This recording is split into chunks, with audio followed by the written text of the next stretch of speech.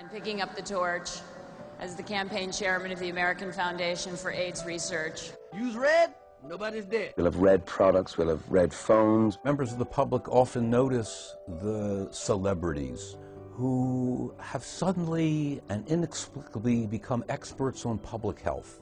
We have turned these kinds of stars into authorities on things way beyond their own training and their own knowledge.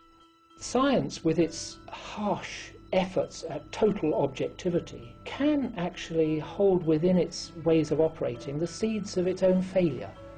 At least they should open up the field to people with other theories because their own has proven to be such a resounding failure. In science, we cannot have any prejudice. The fact that AIDS started in the gay community has nothing to do with the sexual preferences that these group of people have. The old paradigm in science is first you find the cause and then you treat the cause. Well, with AIDS, we have violated both. Not a single retrovirus has been ever demonstrated to be responsible for any single human disease, and certainly not killing anybody. Disbelief in science is the essence of progress.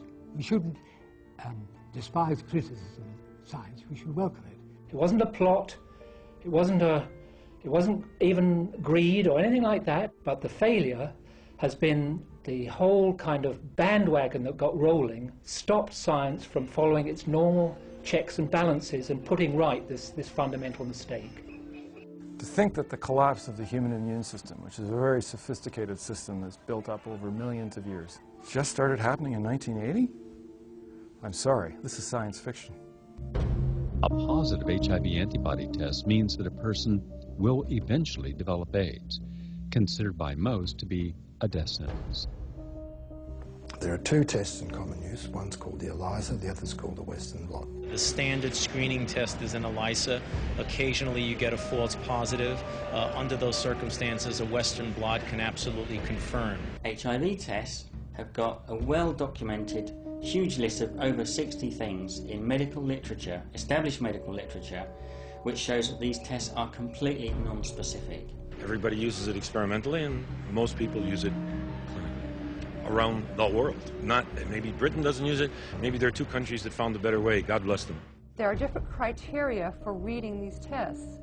In Africa, all you need is two of these bands to be positive. In Australia, you need four.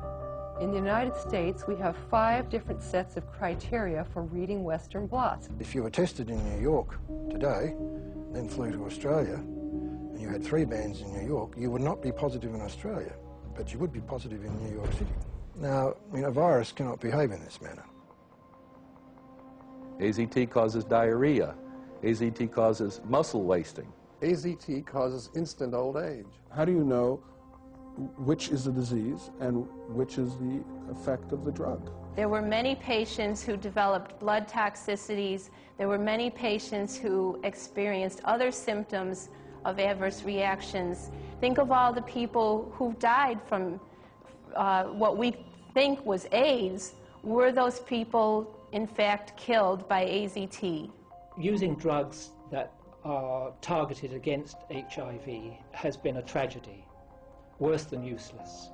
The antiviral drugs are chemotherapies. When you give chemotherapy to somebody with cancer, you give them a round of it for maybe 14 days or a few days.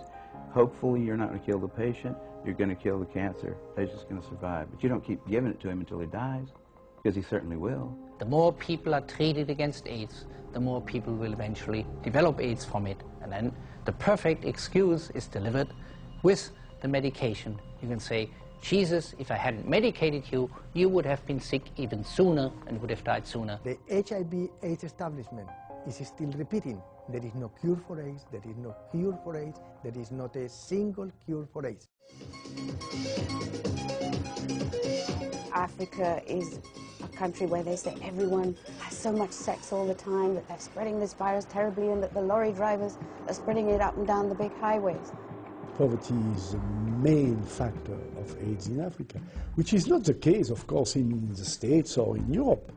Malaria, malnutrition, the lack of elementary facilities, the abuse of women, the neglect of children. Weight loss of greater than 10% of your body weight, chronic diarrhea, a persistent fever and cough.